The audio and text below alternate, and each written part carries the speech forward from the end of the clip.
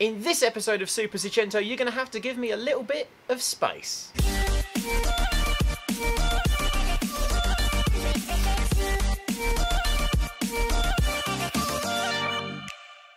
Hello YouTube, Miller Corner here, welcome back to Super Seicento, and today we're going to be doing a mod that's both cheap, easy and hopefully very very effective because you see a few months back when I added the 14 inch Abarth wheels to my car in my opinion I massively improved the look of it. However because they're essentially factory wheels on the Seicento Sporting Abarth models and manufacturers aren't too keen on flush fitment for your wheels for some reason the wheels are quite far into the arches. There is by no means a flush fitment to the body and that can make it look a little bit odd. Particularly I noticed when I was filming up in Beachy Head with Surrey Car a few weeks back the car just didn't look quite right in the shots I took of it, almost a little bit top heavy because the wheels were a little bit too far into the arches. Well, to rectify that, I have bought these. These are 10mm wheel spacers. They're in the 4x98 stud pattern that the Seicento takes, and they should hopefully go underneath the wheels and push them out 10mm on each wheel to space them out and make them fit more flush with the body. If you're going to be putting wheel spacers on your car though,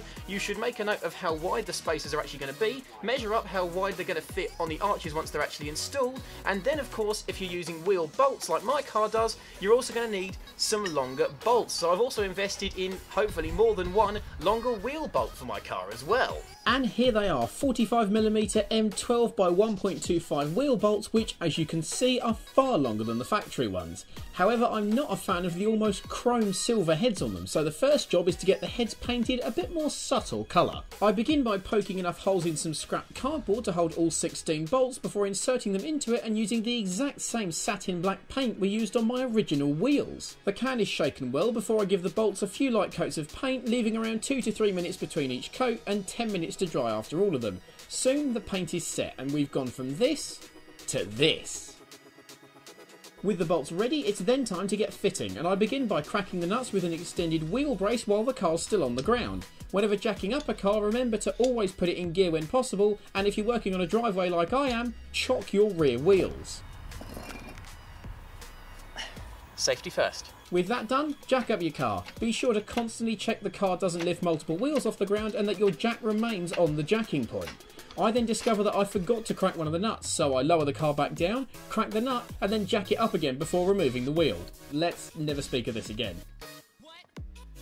Mod that's both cheap, easy, easy, easy. Next, I attempt to slot the spacer onto the disc, only to discover that these universal spacers, not designed specifically for my car, don't clear the bolts and nuts holding the brake disc on. It does kind of fit, but a spacer should sit flush against your brake so as to avoid wheel wobble, or worse, the spacer cracking when the wheel nuts are tightened down onto it. Eventually I get the spacer in place, only to knock it out of alignment by simply touching the disc with the wheel when attempting to refit it. Oh, you Desperate, I call in my mum to help, who has a simple but brilliant idea. There we go, that's like that. Can't you tape it on or something? No, that's not a bad idea actually. Didn't think of that. Oh, Hang you need a bit of masking tape. Yeah, we've got Just- some in the garage, to- hang on. Just to sort of steady it. Now I just want to get it on. That's it. There we go, that might actually work. Ah, well it hasn't not. But Well, let's find out. With the tape holding the spacer in place, I go for it. However, You know, why won't it? No, because it's no, 'cause it's moved. No, that's gonna have to come out again. what with the constant setbacks and near freezing to death in the February cold, I lose what's left of my patience. I'm f***ed off with this. This is so. Why doesn't it just fit? I can't even get the bolt off. No, that's nowhere near. So I don't know what that's actually screwed oh, into. well. It's ridiculous. It shouldn't be this. hard. Why is life so hard?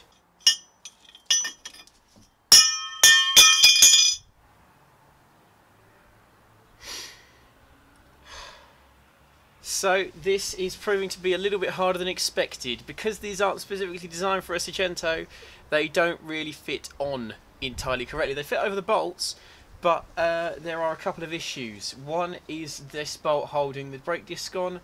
One is that bolt holding the brake disc on, and one is the fact that if you can by some miracle get it lined up, the act of tapping the brake disc with the wheel will knock this out of alignment and then you start all over again. This is taking a little bit longer than expected. I think, to be perfectly honest with you, I am getting incredibly frustrated with this, so I'm going to take a break and then I'm going to call in some reinforcements. The next day, I'm back on the driveway wearing basically identical clothes, and with my dad in tow for help, I'm confident that between us we can get these on. I show him how the spacers won't fit flush due to fouling on the brake disc bolts, and using a combination of clever eye work and man maths, we spend the next 20 minutes strategically smoothing the edges of the spacer down so as to accommodate the bolts. Eventually the spacer fits flush and to make refitting the wheel without knocking the spacer easier, we decide to put two bolts through the wheel to hold the spacer onto it and as my dad lifts the wheel up onto the mounting point, I get the bolts started to locate everything. Oh, hello, yep. With the wheel and spacer on the car, the bolts tighten down and the spacer hopefully secure, I jump in the car to take it out of gear and be ready on the brakes just in case, while my dad checks the wheel spins without wobbling or the spacer coming off. Even the rain starting isn't going to stop us. With one front spacer confirmed done, we lower the car back down and jack the rear of the car up to get the first rear spacer on. The wheel comes off, and after a quick inspection, there's a slight lack of clearance over the bolt on the drum. One smoothed edge later, and a perfect fit. Given the success at the front of the car, we decided to repeat the idea of putting the bolts through the wheel to locate the spacer onto it before lifting the whole lot onto the car, while I locate it by tightening the bolts down. With this idea proving yet again to be inspired, the first rear spacer is done. The wheel is reattached, we lower the car back down, and then it's on to the other side. I flip the car round, yes, Seicentos really do only have one reversing light, and then we jack the car up and it's time for the other rear spacer. It's a similarly awkward but successful story on the other side. Identify bolt overlap, smooth spacer edge to accommodate, thread bolt through wheel and spacer to hold them on, and tighten the bolts down once the wheel is in place to locate them. Lather, rinse and repeat for the other front wheel, lower the car back down, and we're done. We've gone from this to this.